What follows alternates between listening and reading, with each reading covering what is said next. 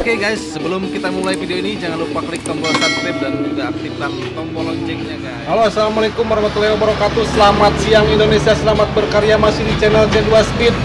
Siang ini salam penggila Astrea Sejagat Raya Salam pecinta serius Senusantara Siang ini kita akan member Mesin Astrea ya. Mesin Astrea dengan kapasitas mesin Menggunakan piston Vario 125 ya Di Astrea dengan krep standar. Rocker arm menggunakan roller Lokan as standar modifikasi. Dan beginilah bagaimana cara proses ini kita kerjakan ya. Itulah pokoknya mah oke jangan ke mana-mana apalagi ke mana karet cukup saya aja yang ke mana karet guys. Kita simak guys. Kita bukpakin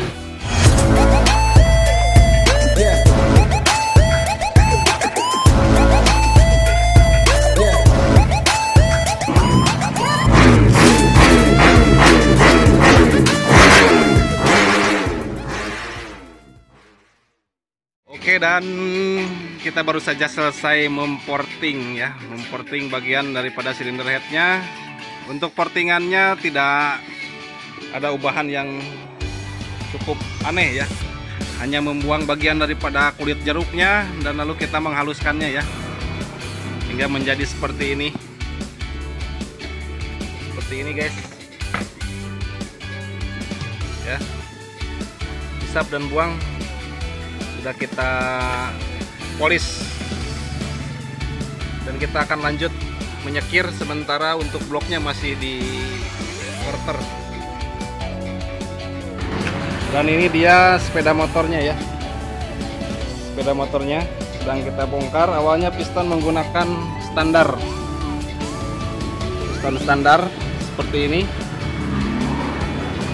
dan kita akan menaikkannya ke diameter yang lebih besar sedikit ya karena motor ini dipakai untuk harian dan juga touring ya.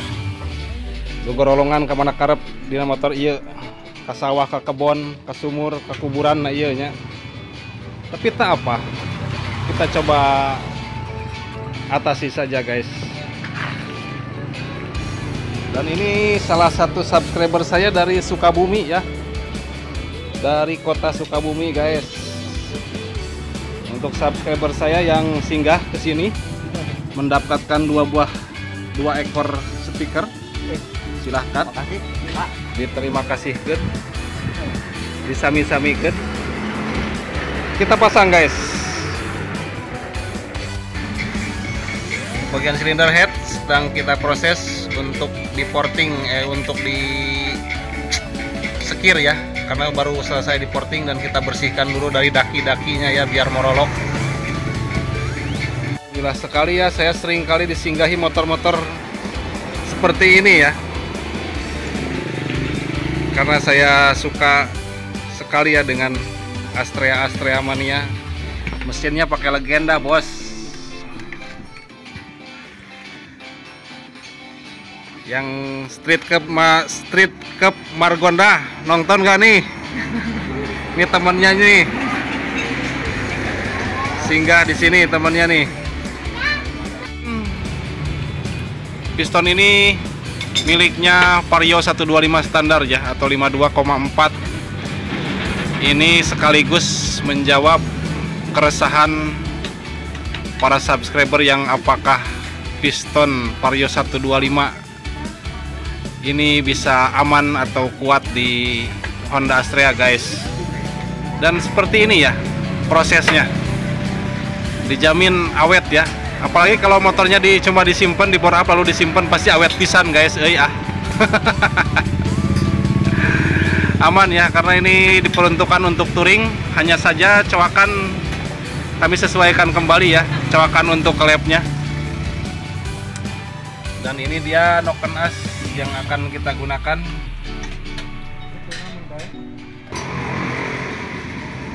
Noken standar papas ya. Dengan pinggang 18 mili. Dengan durasi 260 derajat. 260 derajat celcius. Dengan rocker arm roller. Seperti ini guys. PNP di Astrea. Ini Nokenas tipe C1 ya untuk lap standar 100 sampai dengan 120 cc. Kita pasang guys. Klep kita sesuaikan kembali ya untuk coakan klepnya. Karena Nokenas sudah dimodifikasi dimodifikasi sesuai kemauan sang pemilik.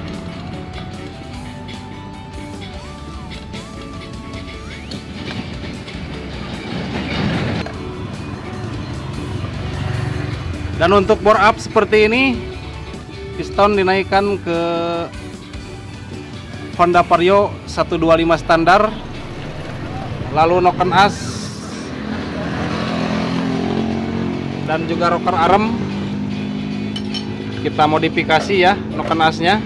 Lalu kita ganti rocker arm dan packing juga oli ya menghabiskan dana sekitar kurang lebih 575 ribuan ya. Kalau dibulatkan itu jadi 600 ribu ya. Apalagi sisanya dibeliin sama tahu bulat guys. Yang gopean itu yang suka liwat ya. Kurang lebih seperti itu guys. Oke jangan ke mana meni apalagi ke mana karep ya. Kita pasang-pasangin dulu guys sabang saning boboringan anak dan si silinder head anak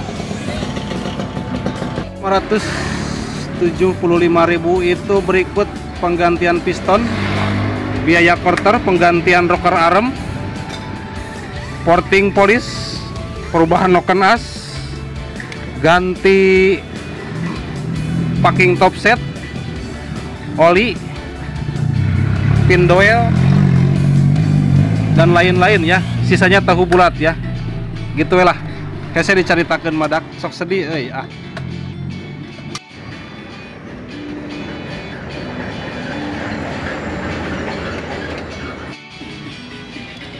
kita pasang silinder bloknya guys.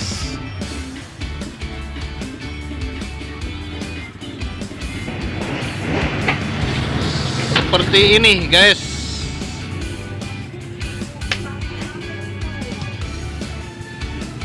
Kita pasang packing kaleng dan silinder headnya guys. Packing kalengnya jangan lupa digunting ya bagian tengah-tengahnya sekitar satu milian kurang lebih satu mili ya disesuaikan sama gede liner ini ya gede liner bagian ini. Biar tidak sing daruk dek guys.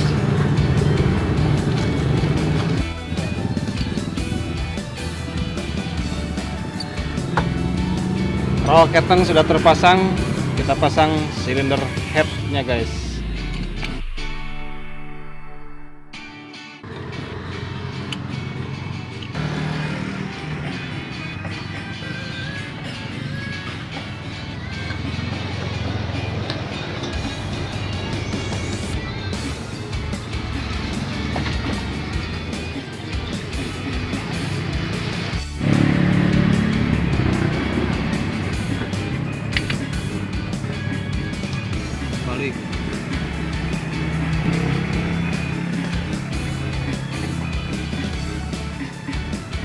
oke.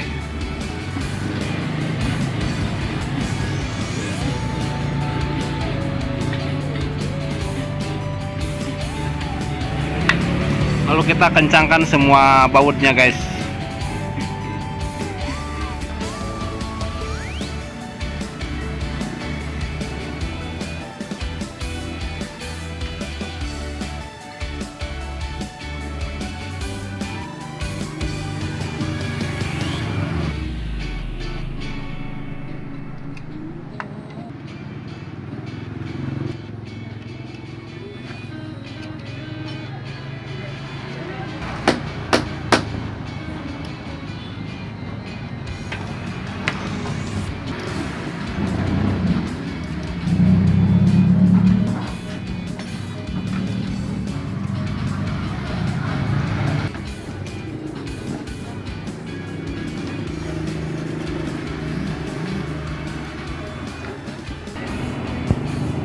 Oh, kita pasang gigi timing bagian depan dan lakukan center top.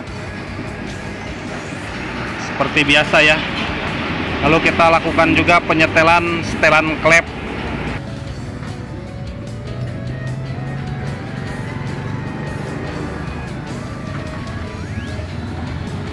Tidak digeser ataupun diaclok-aclokin ya. Center topnya tetap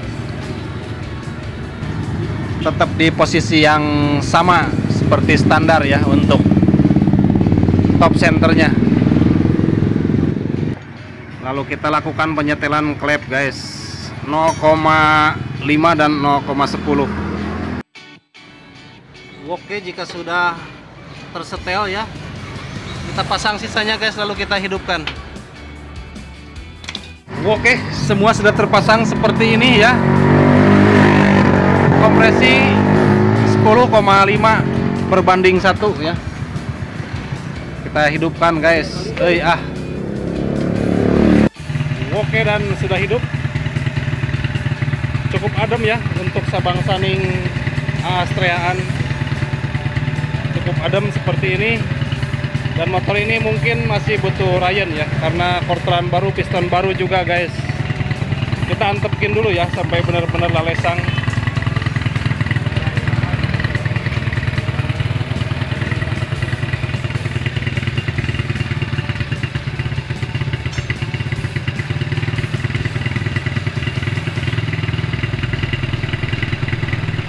kupringnya can dipasang.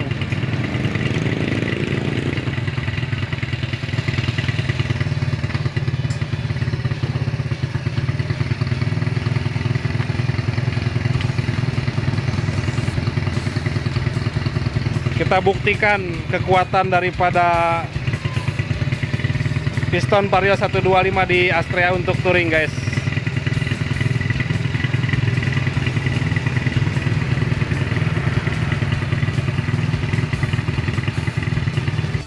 dan kasus daripada Honda naon iya tehnya mesin nama ada legenda selesai pokoknya mah gitu lah guys Oh iya wae. oke siap hati-hati di jalan sami-sami semoga tidak kapok dan selamat sampai tujuan Terima kasih yang sudah nonton. Jangan lupa tombol subscribe-nya guys. Aktifkan juga loncengnya. Jangan lupa like ataupun share ke teman-teman kalian agar video ini bermanfaat untuk saya ataupun untuk orang banyak. Ayo. Ayo, siap.